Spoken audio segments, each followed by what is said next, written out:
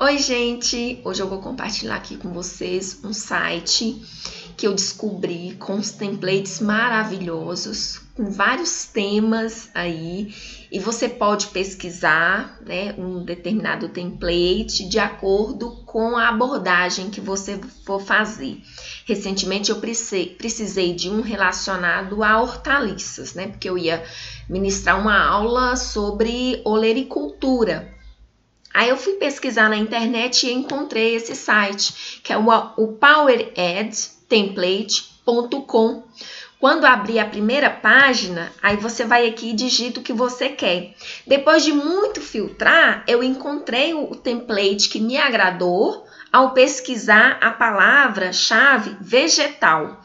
Então, você vai aqui e digita uma palavra relacionada ao tema que você quer. Vegetal, aí me apresentaram aqui várias opções. Aqui, quando tiver todos os artigos, você vai aqui e seleciona PowerPoint. Aí vai te direcionar para as opções de template relacionadas a essa palavra. Olha que lindo! Olha que templates lindos! As várias opções relacionadas à palavra que eu pesquisei. Aí você vai aí e seleciona o template que você quer. E não só esse primeiro slide é bonito, né, bem trabalhado, como os slides a seguir também.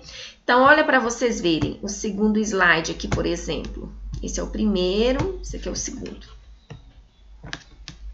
Esse aqui. Olha que lindo.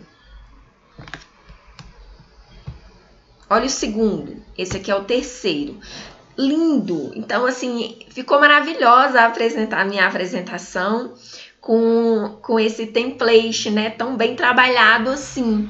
E eu quis compartilhar isso aqui com vocês. Aí você vai aqui, faz o download, né, aí monta a sua apresentação.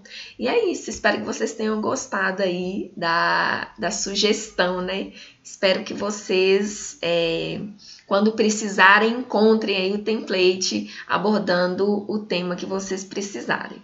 Um abraço a todos.